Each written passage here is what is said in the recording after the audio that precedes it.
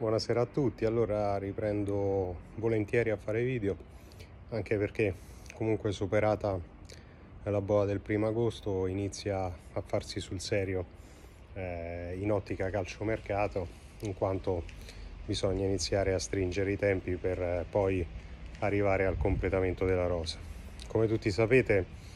mh, mm, le difficoltà principali della Roma in questo momento sono due quella più grande forse riguarda gli esuberi, mentre l'altra enorme difficoltà è quella del reperire il centrocampista che a livello ideale deve essere il titolare al fianco di Veretù. Dico a livello ideale perché sapete bene, e l'abbiamo vissuto ampiamente negli ultimi anni, che tra infortuni, squalifiche, ricadute, ora c'è anche questo Covid, tutte queste situazioni ti portano a non avere praticamente mai quella che nel tuo progetto iniziale era da intendersi come formazione titolare. Però sta di fatto che manca oggettivamente la figura da affiancare a Veretù, detto pure che Veretù insomma non è proprio al meglio eh, per usare un eufemismo, dato che in sostanza sta fuori da Manchester e Roma dello scorso anno il suo precampionato fino a questo momento non è esistito perché sta facendo sempre lavoro propedeutico al reinserimento in gruppo. Quindi in soldoni la Roma in questo momento non ha i due che nelle idee del nuovo tecnico dovrebbero rappresentare i centrocampisti titolari. E quindi sta valorizzando e apprezzando eh, i vari eh, Darbo, eh, Bove, Diawarà, eh, Villar che anche lui ha le prese con un piccolo infortunio. Ora c'è stato fortunatamente il rientro di Cristante. Comunque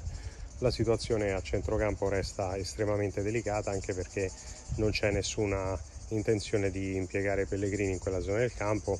e dico io anche per fortuna perché il meglio sia con la Roma sia con la Sassuolo sia in nazionale eh, lo ha dato quando ha agito dalla tre quarti in su. In nazionale addirittura è stato impiegato anche come attaccante esterno e in una partita tra l'altro fece anche benissimo segnando all'Olanda una rete preziosa che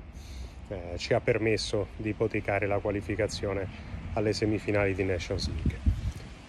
Detto questo, eh, come detto prima, la, la, situazione è particolarmente dedicata perché alla Roma manca eh, una liquidità ecco, immediata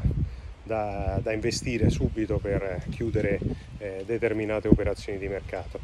Le difficoltà per Sciaca le conoscete tutti, oltretutto l'Arsenal nelle ultime ore, secondo me anche in maniera abbastanza scorretta, ha alzato eh, la valutazione del prezzo del calciatore a 25 milioni, quindi l'offerta complessiva della Roma, eh, tra l'altro che eh, nell'idea della società giallorossa c'era anche di pagarla a rate, eh, arrivava massimo a 15 milioni di euro, quindi capite bene di, di come ci sia enorme distanza tra domanda ed offerta, perché come vi sto dicendo da giorni sui social, su Instagram, eh, per chi non lo sapesse il mio indirizzo è chiocciola Andrea Pelagatti tutto attaccato per trovarmi eh, su Instagram. Il problema non è solo nella, nel costo del cartellino di un giocatore perché eh, il calciatore può costare anche 42 milioni eh, come Chic, non dico che debba avere il pessimo rendimento che ha avuto Chic, ma per farvi un esempio, eh, solamente che, eh, ripeto, eh, lo vai a pagare in 700 miliardi di rate e di conseguenza diventa un prezzo per quanto enorme anche sostenibile, ma quando vai a fare mercato con le società inglesi è difficile mm, che accettino, come fa il Genoa di turno, la Fiorentina di turno, eh, queste eh, operazioni eh, rateizzate all'inverosimile. E quindi è chiaro che devi andare a sborsare liquidità immediata, liquidità immediata che la Roma in questo momento non ha in queste proporzioni e quindi non può risultare competitiva nell'affare per Sciaga e questa è una problematica che eh, potrebbe eh, causare non pochi problemi anche per Coop Meyers e per Zaccaria